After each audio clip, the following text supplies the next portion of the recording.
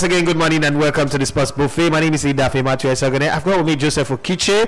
Uh, the beautiful thing about what we're doing today is, uh, like we normally do, we've had like just about everybody on this show, uh, from Judo Ighalo to Seyi Olofinjana to Ifitobori Soji, Akmo Soji, Duke Udi, Martin Tyler, Gernot Rohr, and the rest of them. So there's this guy that I've been like, I want to talk to him there's something about him that I like. You know, like you, if you guys follow me on the show, you know that I'm a sucker for intelligent people. Brilliant people always attract me, age, creed, or whatever they are. So I was like, I went to first person. I like, ah, do you have uh, iOS number? Like, I is a mind your business kind of person. I don't think he would want to do radio. And I was like, I don't care whether he's a mind your business. Let him tell me with his mouth. Don't come here and give me that crap. It's like, okay. And then the person didn't get back to me. Somebody else, the third person, the fourth person, and then eventually Mr. Boyega, nice friend, great guy. He's an intermediary, one you can trust. And we'll talk about all of that on the show. And I spoke to him. I said, Do you have any relationship with uh, Ayodele Makinwa? Because I want to understand why he is the Tiger of Lagos and another Egbo of ours, Mr. Taigi, is also the Tiger of Lagos. Is he the son of Mr. Taigi? I mean, you never can tell. Let's get to know where this whole thing come from. And there's so many other things we need to talk about. Why did he choose to go to China when he went to China? Uh, I mean, move from uh, FC Ebedei to Reggina and Italy, all those Lazio things. You know what happened, and some of those things about our national team we need to talk about. So I'm talking about no other person than the Tiger of Lagos. Mr. Stephen Ayodele Makinwa, former Super Eagles player from Lazio, um, Como, Reggina, Atalanta, just to name a few clubs that he played for. And um, I, I, think we're going to have a good time. Joseph, are you are you up for it? Ah, very up for it. Uh, watching him, you know, play for the Super Eagles while growing up, uh, this is a very good time. To, uh, you're blushing. Why are you blushing? Uh, Mr. Ayodele Makinwa, you're welcome to the show this morning.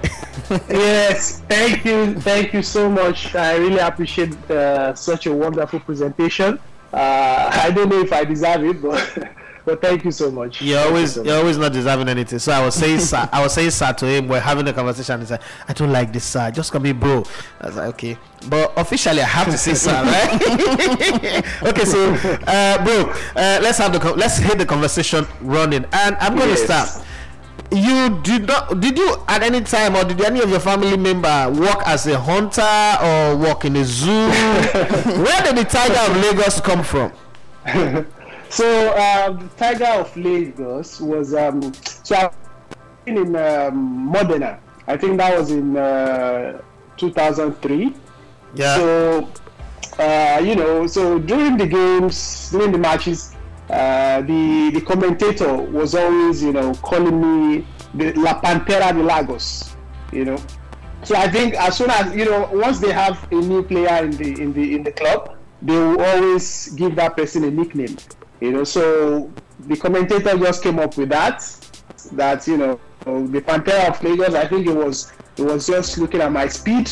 You know, uh, then he thought of you know me being the Pantera of Lagos. But then you know, uh, I think it was interpreted to be the Tiger of Lagos. You know, uh, by our Nigerian uh, journalists. You know, so I think that was how the the name came about. And it does it does sound it does sound. The first time I heard that word, I heard it from the mouth of. Um, Uncle Bibo Adiola, the tiger of Lagos. I was like, hey, wait a minute. You know, I grew up in Warri and Port Harcourt, and I don't hear journalists, you know, tag people like that. And and I start hearing mm-hmm. Christian Obodo, a bundle of skills. Uh, uh Martins, weapon of mass destruction.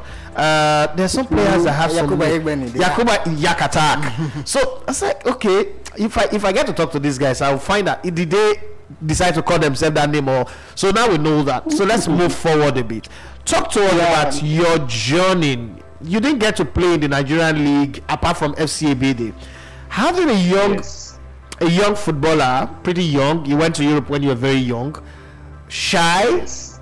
minding your own business even up to this very day not liking to mm. talk, not liking to mix up, go to Europe and find your footing. Culture change, new type of food, the language, and everything. How did it work for you?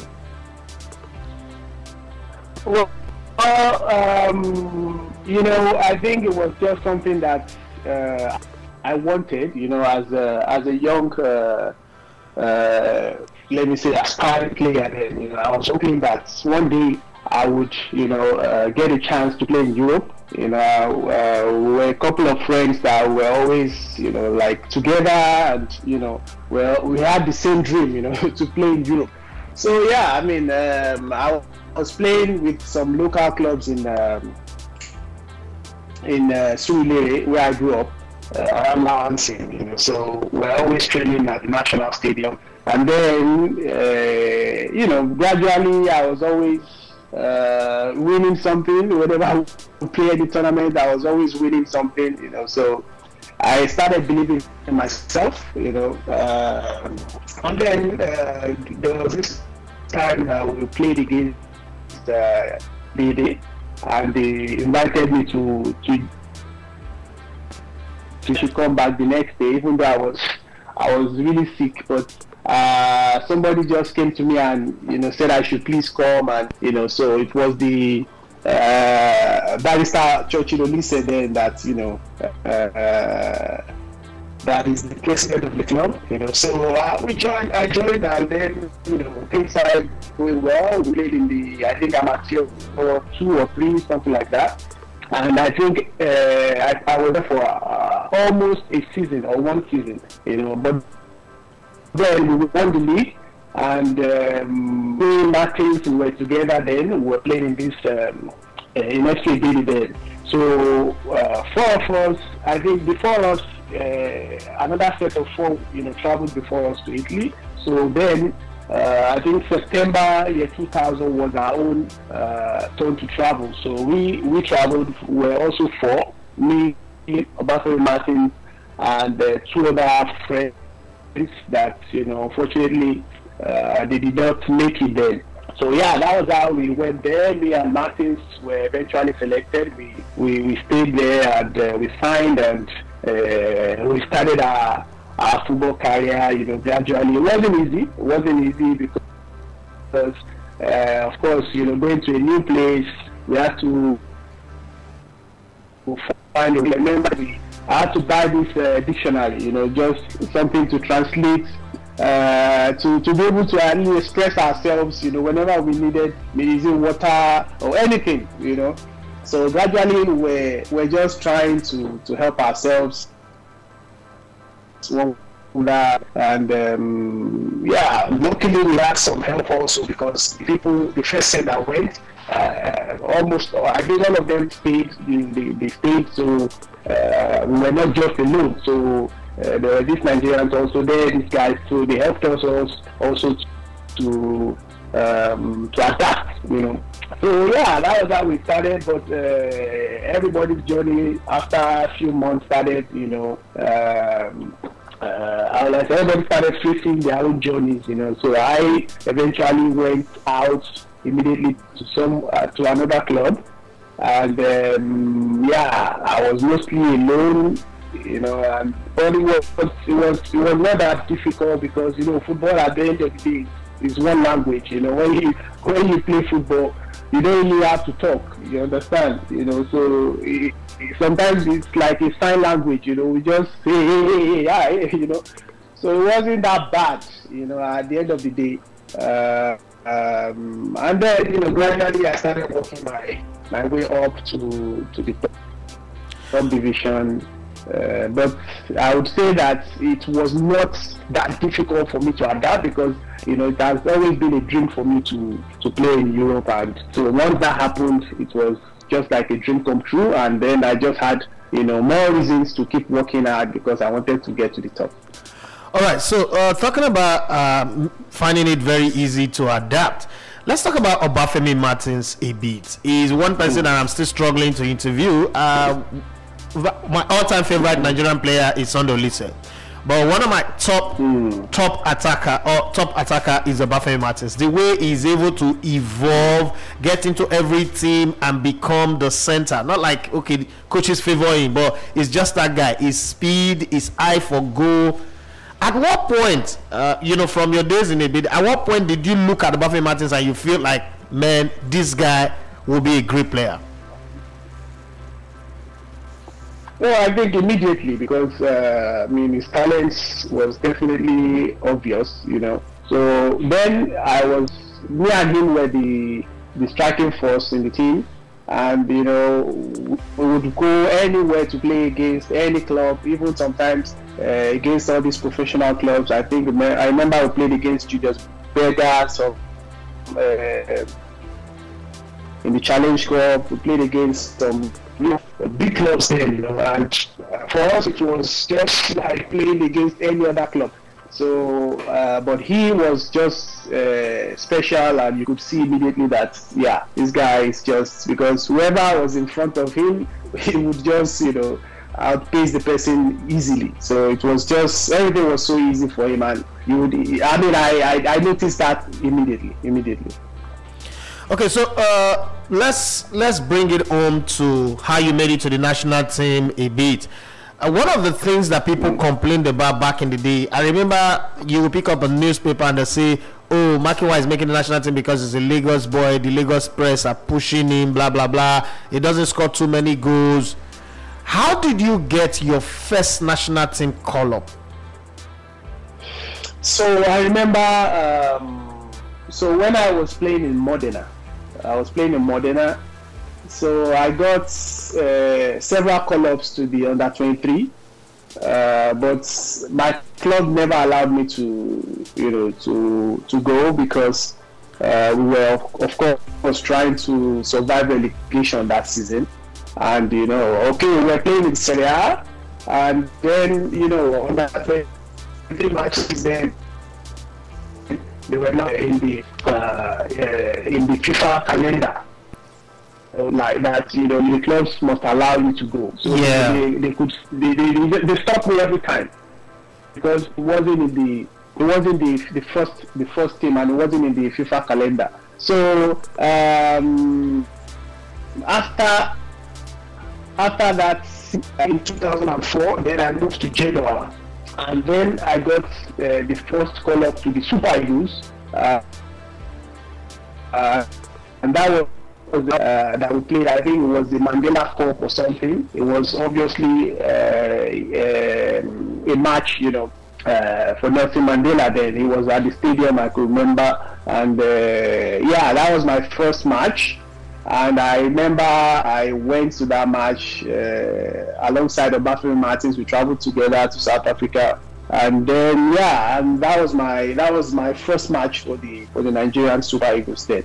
Okay so another another conversation that people always have today is oh i'm not playing for the national team because i don't have connection. Uh, there are nobody speaking to me nobody to bribe the coaches. Was it a conversation in your time when you were playing so i sometimes you know I'm not somebody like that. You know, it, it doesn't even come to my head that you know you have to give somebody anything. Uh, sincerely, in my own time, I never noticed anything like that because I think most people that were in the in the, the, the in, in, the team then they definitely uh, I mean they, they have every reasons to be there you know. We were all playing in good clubs and good leagues you know. So um, for me there was nothing like that like you know happening then because uh, I was playing in uh, Serie A and um, I'm, I'm not the kind of uh, do or die person. I always believe in uh, in fairness you know. That is how I so if I if I don't think I merit something then uh, I'll tell I'll be the first person to tell myself that no you don't you don't deserve this you know so Okay, so let's bring um, it. Let's bring it to my own experience. Nothing, nothing like that. Okay, so let's bring it to a lot of the things that happen with today's players.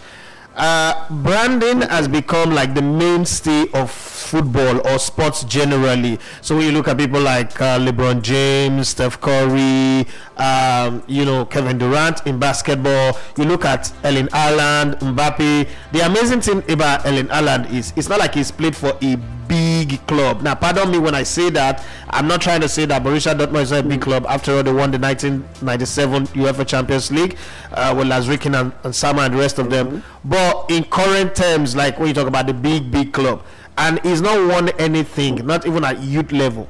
But when you mention Erling Haaland, you almost cannot put players like uh, Victor Osimhen, Paul Onuachu, uh, even Kelechi and. These are players that have won the Under 17 World Cup. These are players that have played in multiple leagues. You can't put them in the same sentence. And if you look carefully, it's the branding what people say about them off the field, what they say about them on social media. How is it that the average Nigerian player does not pull that kind of brand command? Well, I think um, that is something that, um, yeah, it's uh, it's some it's a it's a good point. It's a good point, but I don't uh, has such a package through some people that are managing him. You know, I think it's just a matter of uh, um, interest. It's a matter of interest. So now, uh, like I was saying, there is bias, you know, against African players, you know. So most times when, uh, okay, let me just go back few years without when there was no Instagram, there was no uh, social media. Let's say there, there was Facebook, but Instagram, there was no Instagram, you know. Yeah. During that time, there was still bias. Yes. There was nothing like Instagram. There was nothing like uh, uh, uh, I don't know all these Snapchat that you know people easily use now uh, their, their products or whatever they want to, to, to push. You know, so uh, I just think it is just the bias against African players that that makes us look to European players. You know, and clearly I won't say that Haaland and uh, Simy are in the same level right now. You know, you can always look you know, by doing, where they are, and everything also, it is very obvious, very clear also. So, ways you can always see why some of those players are where they are in some cases. But in some, and also see why you know uh, the African players are where they are. But in many cases, I think that bias is always there, and for now, it will still continue to be there to new players. Okay, so uh, what can we do to change that bias? Because let's be very honest here. Technology came to give us a level playing field. I agree with what you said about the time where there was no social media, there was no, you know, the, the, it's just the same way in Lagos. Now, I played football in Warri, Makinwa. I played football in Warri and Port Harcourt. I played for Sharks of Port Harcourt and then Eagles Cement before I went to play in Sweden.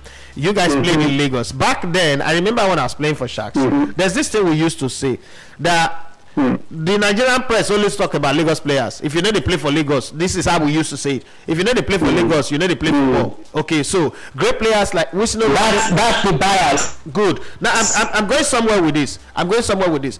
People like them Wilson Oruma, they have to fight their way to get to the top. People like them Kanu Nwankwo, them Mobile Mobi Oparaku. But the Lagos player, you will play in Lagos you just get like news every time but that's because there was no level playing field today there's level playing field if I want to be famous, I will do everything mm. that the other person is doing legally. Okay. So if he's on social media, I'm going to be on social media. If he's on Instagram, I'm going to be on Instagram. On Twitter, I'm going to be on Twitter. If he's if he's going to force people's hand to trend on Facebook, I'm going to be there as well. In other words, I will match you with anything you do off the field. And then let's go on the field and also prove ourselves on the field. Hmm. Do you think that the African, the average African player, or focus on Nigerian players now, the average Nigerian player takes their time to say, look, I don't play the ball finish you, but let's cut a clip of me and put it out there. And, you know, get influencers to push it as loud as possible because those things are important whether you like it or not these tools are there for us to make life easy for us do you think that the average African or Nigerian players are yes. doing that? I think uh, that is happening right now. You know, uh, with social media, I think a lot of African players are taking advantage of that. That you know, uh, social media, are all uh, one way or the other pushing their brands. You know, so I think that is actually happening. You know, that is really happening. Uh, but uh, for as long as you know we, we still somehow look inferior you know, to all this uh, in in in the uh, you know when, when we're in the playing field, you know, African players for sure. We still we, we, we still kind of look inferior, you know, to uh, European players. Why do we look inferior It's, to it's, European it's players? just something that I don't know. Uh, okay, now let's look at the fact that uh, somehow uh, we, we, we, we are not, you know, okay, let's look at Haaland and Osimhen, for example. Yeah. You know, uh, Haaland, Haaland, for example, uh,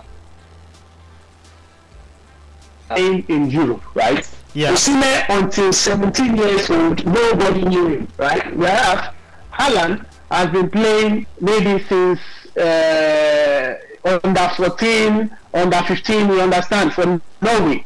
Uh, I was saying that the, the, the best way to go about that, I think, is to develop our grassroots football. You know, to so uh, for example, when you have a player at 14 that you can already discover his talent and is already everywhere, everybody could see that. You know, it's different from when you are lucky at 16. Then you play the national team under 17, and then that is when people start seeing you. You know, so we have a lot of that is about three years difference already. That you know, many times uh, you can't buy anything. Uh, you can you, money can't buy that time that you know he has the, the advantage he has, he has over the the African player that, that until maybe 17, 18, nobody will you know, so many times, even if, uh, a player like Osimhen, for example, is just lucky, you know, just like many of others that are that are played in the under 17, right? So if they had the chance also to be platform where you can see them already at 14. Imagine at 14, uh, already they, you know, they have been seen, they are playing uh, already in, in, in big clubs, and you know, uh, yeah, it will it will definitely be different. It will be different, and they will start seeing that talent from that age, and people will start talking about them, you know. But I think everything still go back, uh, still go back, uh, go back to to the fact that we have to develop our grassroots and eventually try to also, you know, develop our league very well because Nigerian league right now you still go there and sometimes it's difficult to even scout players. Uh, the, you know, eh, those are the issues I think uh, are, are having all these kind of effects on, on our players. Okay, so uh, there, there are two more. I, I'm going to beg you I say this that this interview we will do it again, maybe not today, but in the future, and and get it a clean one. I like my interviews Okay. being clean, but I mean we're still talking. I can hear you. So let me ask you this: There is this thing that always bother me about ex-Nigerian footballers. The only job that they seem to have is either their coaches and the coaching job is just for the national team or they want to be football agents. Apart from maybe Mike Emenalo Okay. and now Seyi Olofinjana, who works as the pathway manager at Wolverhampton Wanderers, everybody that is an ex-footballer seems to want to just become a coach or an agent. Is there no other pathway to life after football apart from those two jobs?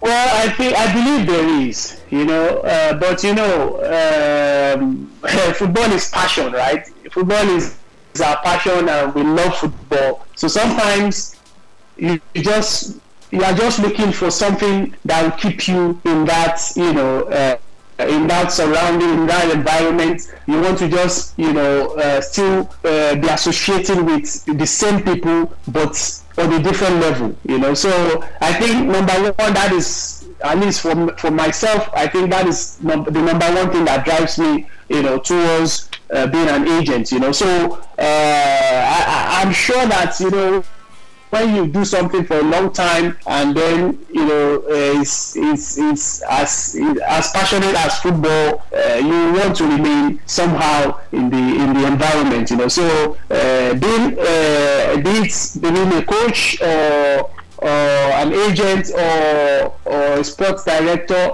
in you know, uh, a scout or whatever, you know, you, you are still in the in the football environment. You are still in the football you know so that, i think that is that is just the the, the thing that I, I believe drives people you know ex players towards becoming uh, either a coach or an agent. You just want to you, you just you, you you you don't want to you know you still want to be in that environment. You still want to to be talking about football. You still want to be involved somehow in football you know. So I believe that is that is why that the problem that I've always battled with footballers come upon money okay. in huge sums. Like you hear, okay, take for instance, you were signed uh, to Atalanta 7.6 million.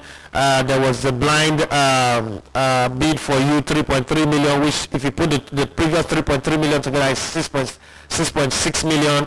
You know, the plenty salaries, but five years after their career, majority of them, and that does not include you and a few others, but majority of them become so broke they are looking like like they are suffering. Why do footballers who see mm. such huge amount of money end up being broke very fast? Uh, i think uh, sometimes that has to do with you know the people you have around you. I think that is number one key i believe uh, factor you know. And then and number two still about people around you because you know it depends on what you actually use the money you know uh, to do. So most times people go into wrong investments. You know. Uh, let's look at it from the angle of uh, let's come to the national team, the Super Eagles of Nigeria. I've always insisted that uh, okay. there is no balance to the team. We have only one goalkeeper, and he's still an upcoming goalkeeper.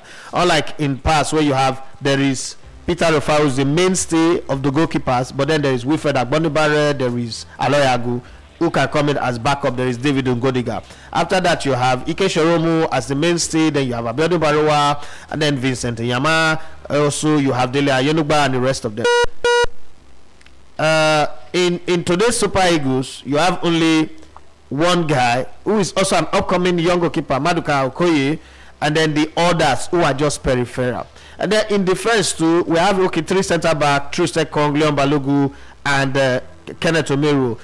Uh, the others are neither here nor there. Then the fullback position. In midfield, we have only one and a half midfielder. Now, let me explain that bit to you. We have Wilfred Ndidi, who is world class by anybody's standard, world class. Uh, the half is Joe Aribo. He's not there yet. He's not really played in big games, but you could see his potential you you could see his talent you could see his potentials you could say this guy have everything it takes. But uh, i i'm sorry but i mean coming from a former footballer like me people will say you shouldn't be saying this but let's call it what it is. I do not reckon with alex iwobi as a midfielder. And i also think that uh, uh, what's it called? Uh, Ogoneka is a support striker, not really a midfielder because he doesn't have those passes, those penetrating passes, those you know decision making moments where you think this is how the game would change. But in attack, we are spoiled for choice. We in Africa today we have the most number of attackers who are in form. As a former footballer, as somebody who's now an agent, what do you attribute this kind of situation to? And how would what kind of headache does the coach of the national team Gernot Rohr have right now?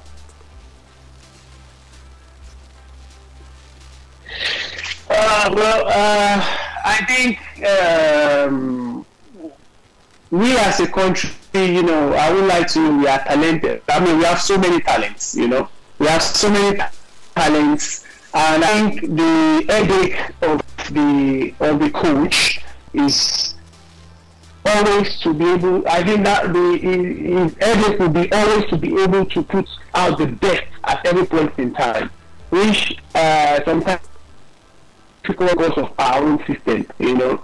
Uh, for example, normally, you know, uh, uh, when you're in Europe, you know, I remember when I was playing then, you know, sometimes my own invitation letter would have arrived to me uh, one week every other European players, you know. Uh, you know. Can you can you can you, can you say that again? Can you say that again? Can you say that again? I didn't get to hear. Your invitation letter would what? Would arrive maybe one week earlier before the others. Oh, okay. So now other European players they always they, they I mean their selection their list will always come out after the last match of of the league you know before before that uh, uh, before they, they move to the camp so uh, my point my reason for saying that is that they always wait to see the, the best players that are in form until the last minute you know but in Africa, our own system, of course, unfortunately, doesn't permit us. Maybe because for now we are still not well organized. You know, so selection, I think, plays a major role. You know, in that aspect. You know, so uh, for us to, um, I think we, we have some good players. Uh, we have some good players. It is just a matter of the coach uh, deciding on how you want to play the players. You know, you always have a, a, um, a group of players and then you know, for example, if you want to play the 4-4-2, if you want to play the 4-3-3, you know, that depends on the players that you invite and those that are informed and how you want to confront the opponent. You know, so uh, uh, I believe the biggest headache for the coach would be selection. You know, selection I think is is uh, is one one key thing that uh, if they can always get it right, because we, sincerely, I don't think we don't. I don't believe that we don't have good talents. We definitely have. We have uh, great midfielders that are playing in good clubs. Of course, you know uh, everybody can see a player differently, but I think a coach knows what he wants, or if he knows what he wants, he can always, you know, play them together however he wants because the good thing about our national team is that we have so many players that can play in different formations you know so selection i think is the main uh, problem that that or the main headache let me say or the, or the main issue that the coach can have Okay, so I want to put you on the spot now. I want to make you gonna draw for once. Uh, there, Okay. is a, there is a terrible argument that have been erupting everywhere. Victor Osimhen is a leading striker in the national team, top goal scorer in the qualifiers. Not really have a great season in Italy, just beginning to come into his character and his element now. But then there is Yes. Simy Nwankwo who also plays in Italy. It's got, I mean, scored more goals than any other player, including my favorite, Obafemi Martins. There is uh, Paul Onuachu, 30 goals plus, winning the FA Cup Yes. in Belgium. You are gonna draw. You are going to pick your hmm. two strikers. Kelechi Iheanacho is in form hmm. as well. Now, Gernot Rohr normally Yes. the German Gernot Rohr, Franco German Gernot Rohr prefers the Kelechi Iheanacho and Osimhen. But the the, the, the hmm. public the public court, the public jury is saying why not play Simy and Onuachu because of their current form and goals. You are gonna draw. What would you do? Would you stay with Osimhen and Iheanacho, or you would uh, listen to the crowd and play Simy and uh, Paul Onuachu? Okay, so uh, first of all, I think I will first want to have them all in the camp first. So when I have them in the camp, I as a coach, I will have to look at my next opponent. So now, looking at my next opponent, that, that will determine how I will play.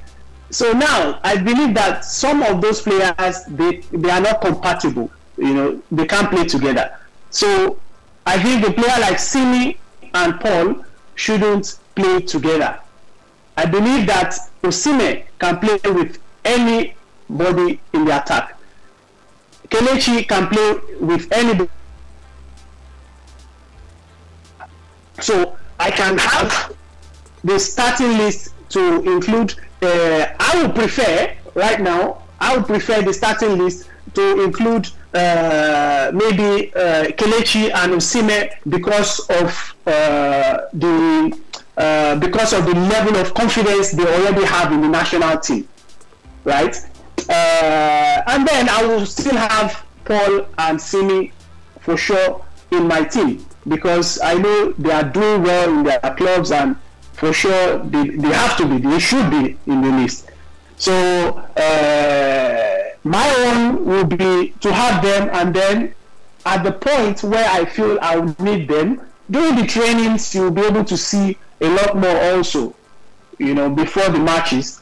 So I think I will still go with, like I said, Osimhen and uh, Kelechi, but I will definitely have those two or uh, those other two in the, in the in the team for sure.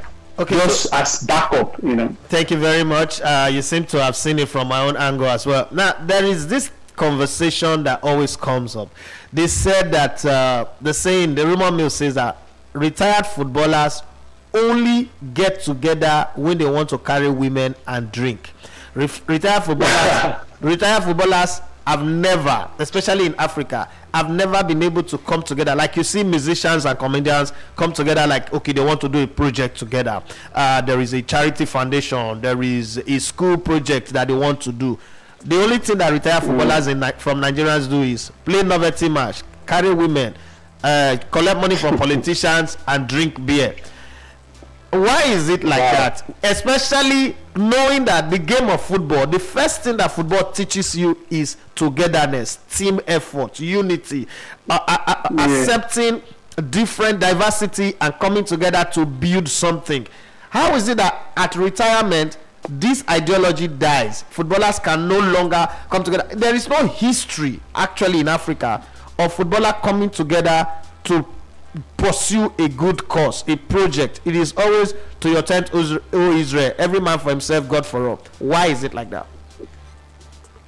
Uh, I believe it is just uh, uh, a football. I don't know if it's a football thing or it is. I don't know because sincerely, I can also tell you that I've played in many clubs with many players, but it is only when I maybe have something to really do that I or if I need them, you know, that I call. You know, so most times we are we are like colleagues, you know, and then later you can have some friends also. But sincerely, uh, at least from my own experience, uh, we, we were mostly or yeah, it's mostly about being colleagues and then you make some really good friends out of as you as you as you move on. But uh, I don't I don't think there is real friendship sometimes. You know, there's it's just that you are in the same team and you know you, you, you deal with each other when you are together and then when you are away everybody to, to themselves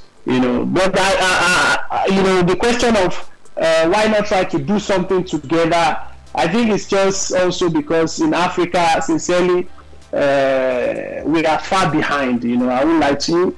We are far behind. You know, because a lot of things that I, I believe that uh, uh, could be done. You know, because experience also, you know, uh, uh, I think matters a lot. You know, in anything, right? So uh, I believe that there, there is so much that you know we ex players can can also contribute, you know, to to developing our football. But you know, I believe that in some cases uh, we are not given the chance, and in some cases, I for once, for one, I, I, don't I don't think I I want to go through that stress of you know. Uh, trying to do something and then people blocking you you know so i don't think there is that encouragement you know to to even uh, push us to try to do something, you know, except for maybe those that have that, you know, maybe close connections with politicians. I will just be blunt. So I think the issue is just that we don't. We, I mean, uh, I don't know. Things are we are not just in a good system that encourages such. All right, thank you very much, uh, Stephen Ayodele Makinwa, uh, the Tiger of Lagos. Coming up next is uh, Emmanuel Sebastian with uh, the Nigerian Players GPS show. It's a show that spotlights every Nigerian player anywhere in the world. Uh, so uh, we can't get past this and some of these players. But before I let you go, since Emmanuel Sebastian is in the studio, how many players yeah. do you manage currently and where are these playing across the European space? So right now I have about uh, 13 players that I manage. Wow. Um, you know, um, I have um, Onazi, uh, Uchiagbo, Blessing Eleke, Adeni James, Musa Mohammed, uh, Ezekiel Henty, uh, Matthias Urusi. They are all in Europe. I have uh, some Ghanaians also. Uh, one Ghanaian. I have uh, Bede Osuji Amarachi is in Israel. Um, Joshua Kuje in uh, Latvia. You know, so yeah, I mean, there's this set that I just signed. Is a young player that right now eh, eh, I'm trying to fix him somewhere. You know, so yeah, I have these players right now that I that So uh, obviously, mostly all in Europe. All Okay. in Europe. obviously, uh, Emmanuel Sebastian will be reaching out to you so that he can connect with all of these your players and uh, maybe Okay. get to talk to them on his segment on his show because his show focuses on Nigerian players wherever they are playing across the beautiful world of football. Thank you very much, uh, the Tiger of Lagos or uh, La Pantera de la Lagos, right? That's how you call it.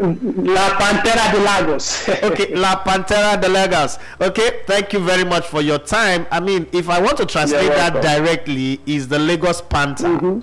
The Lagos Panther. exactly. Okay. Exactly. My my Italian language is still still there. Like it's still, it's still it's still intact. Yeah, Yeah, I think uh, Bula FM then they they also you know uh, I think they were the ones that actually gave me that uh, uh, that the the Tiger, Tiger of Lagos, you know, okay. because I think- like you said they always give you know nicknames to to players then. Yeah, So, they are my former employers. I, I worked there for like 13 years, so I understand. I think it's a bit Wow. it's a bit Ajola thing. Okay, so thank you very much for your Yeah. time on the show. We will You're have welcome. time to speak again, and uh, hopefully during the African Nations Cup, you would give us your take on matches as they go. But God bless you, and uh, I wish all your players and your manage the very best of success. And I hope that you create an opportunity for them for them to create a brand image and brand management outside of the field of play. Thank you very much. Thank you so much. Thank you for having me.